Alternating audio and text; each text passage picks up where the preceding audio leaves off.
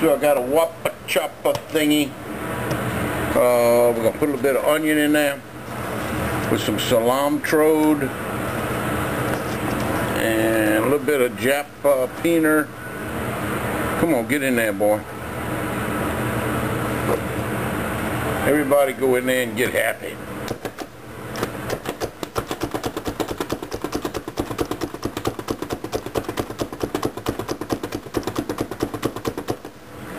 And this shell is for our guacamole. Alright?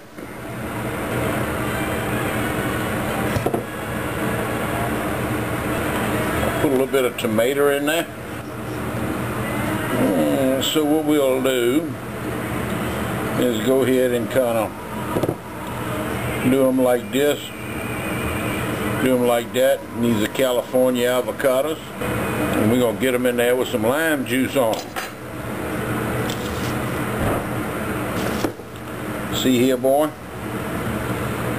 How that just comes right out of there? Like that. Yeah. Just comes right on out of there. Presto. Avocado salsa. Avocado salsa. Two limes gave up their life. Well, I mean one lime, I'm sorry. A little salt, a little pepper. We're ready to go. Yum, boy. Let it stir around. Put this in the fridge and let them flavors melt for just a little bit. See that? Yum. Chew a hump and taste it. Oh yeah. That's righteous. Alright, there's the homemade cracklings and they is some fine too. Cooked them a little too long, but they're still damn good and they crunchy.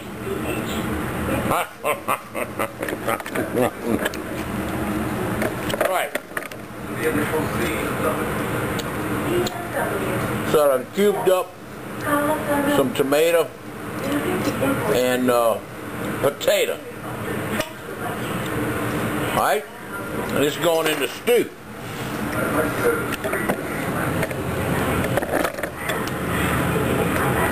Look, right there, boy. Like that. We can also put some cilantro in there. How this is looking about right now. Alright? Cilantro going in there, boy. How about that?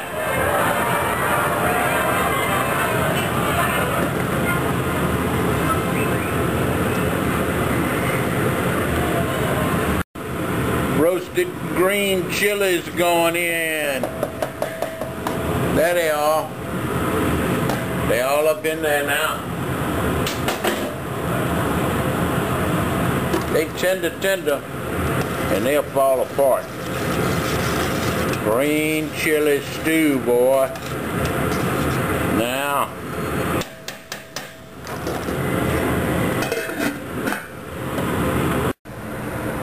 Now there's them carnitas, the carnita meat, and it's going up in the convection oven to get crisp. We got to crisp this up. Alright? Here's them carnitas. They've been sitting there in the oven getting crispy. And that's what we want. Nice crispy carnitas. See there? And we're going to go ahead and put some uh, guacamole in the plate with some sour cream. And we're going to have them like that. There we go. Stew and carnitas with guacamole.